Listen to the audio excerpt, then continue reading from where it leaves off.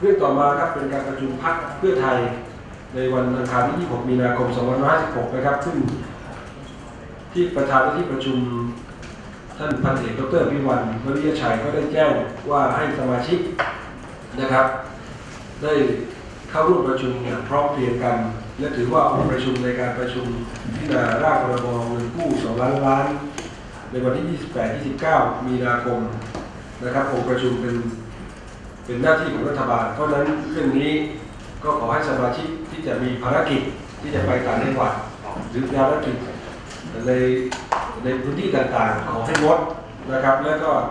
เอ่อทำหน้าที่ในการให้เป็นองค์ประชุมรวมถึงสนับสนุนเอ่อพรบฉบับนี้เพราะถือว่าพรบเงินกู้สองล้านล้านเป็นพรบที่จะเป็นประโยชน์กับประเทศไทย รวมทั้งพี่น้องประชาชนคนไทยในการที่จะเอ่อเขาเรียกว่าสร้างเศรษฐกิจใหม่ รวมถึงเส้นทางคมนาคม รวมทั้งสร้างเมืองใหม่นะครับ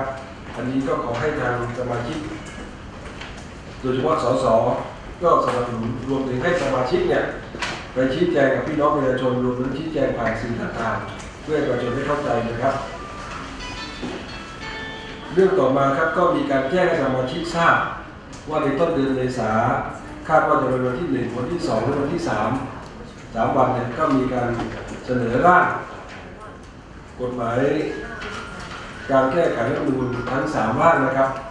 ซึ่งร่างฉบับแรกก็เป็นมาตราการแก้ไขมาตรา 18 และมาตรา 237 วรรคสองเรื่องการพรรคการเมืองและการเพิกถอนสิทธิเลือกตั้งของหัวหน้าพรรคการเมืองและกรรมการบริหารพรรคการเมือง 5 ปีเรื่องนี้นะครับก็จะเป็นร่างที่หนึ่งก็ขอให้สมาชิกได้อยู่ร่วมกันพิจารณา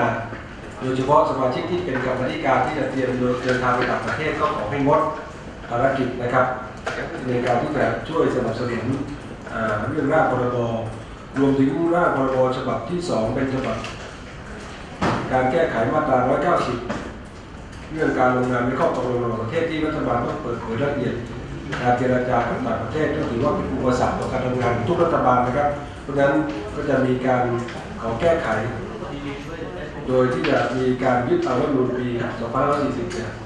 นะครับเป็นเป็นต้นแบบเพื่อความขอเห็นความเห็นชอบจากสภาซึ่งจะให้สมาชิกในการอภิปรายในการที่จะถ้าเป็นองค์ประชุมรวมกันสนับสนุนเรื่องนี้ รวมถึงการแก้ไขร่างที่3เป็นร่างฉบับที่3เป็นที่มาของสวนะครับการดำรงตำแหน่งของสวโดยเฉพาะการยกเลิกสวแบบสรรหาให้มีการสมาชิก วุฒิสภาหรือสวที่มาจากการเลือกตั้งจากประชาชนทั้งหมด200 ท่านนะครับนี่คือสิ่งที่มีการแจ้งให้สมาชิกได้เข้าใจ และก็ขอให้การประชุมเนี่ยนะครับ ก็สมาชิกต้องเป็นองค์ประชุมตลอดระยะเวลาที่มีการประชุมกฎหมายสำคัญ ทั้งสองฉบับก่อนจะปิดสมัยประชุม ในวันที่ 19 เมษายน 2556 นะครับ เอ่อที่ประชุมได้ได้หาดูไหมคะว่าสารรัฐธรรมนูญรับคำร้องของ 40 สวเนี่ยยังจะเดินหน้าพิจารณาต่อหรือว่าจะต้องรอคำวินิจฉัย ก็ที่ประชุมก็ได้มีการพูดคุยกันว่าการยื่นร้องของ 40 สว ก็เป็นสิทธินะครับที่สามารถทำได้ แต่ก็มองว่าที่โดยเฉพาะสมาชิกที่จะยื่นร้องเนี่ยส่วนใหญ่ไม่ได้มาจากการเลือกตั้ง เพราะฉะนั้นเขาจึงไม่เข้าใจในสิ่งที่ทางสมาชิก ฝ่ายที่มีบัญญัตินะครับทั้งสสและสวที่เสนอในการแก้ไขเรื่องนี้ว่าจะเป็นประโยชน์ในการพัฒนาประชาธิปไตย เพราะฉะนั้นก็ถือว่าการพิจารณาคงจะดำเนินการต่อไป ส่วนการยื่นไปแล้วก็เป็นหน้าที่ขององค์กรอิสระเช่นสารรัฐธรรมนูญที่ดำเนินการนะครับคือแม้ว่าสารรับเนี่ยก็วันที่1ถึง3เนนี้ต้องเดินตามกับมีปรก็เมื่อทางมีการยื่นไปแล้วท่าท่านประธานรัฐสภาบรรจุระเบียบวาระ ก็คาดว่าวันที่1ถึง2และ1ถึง2เมษาและอาจจะท่านประธานที่ประชุมก็อาจจะขอสมาชิกของพรรคเพื่อไทยนะครับ ก็เตรียมความพร้อมอาจจะเลยจากวันที่2ถึงวันที่3หรือวันต่อไปนะครับเพราะฉะนั้นใครที่ยังมีการนัดหมายเดินทางไปต่างจังหวัดมีภารกิจหรือไปต่างประเทศเนี่ยก่อนจะปิดสมัยประชุมเนี่ยขอให้งดไว้ก่อน ประธานได้แจ้งไหมคะว่าอาจจะต้องมีการขอเปิดวันที่3วันเพื่อพิจารณาในมาตรา ไม่นะครับก็ขอดำเนินการให้มีการประชุมในเรื่องเฉพาะในการในวาระแรกนะครับ แล้วก็จะมีการเป็นประชุมสมัยสามัญที่จริงมันจะเนี่ยก็ก็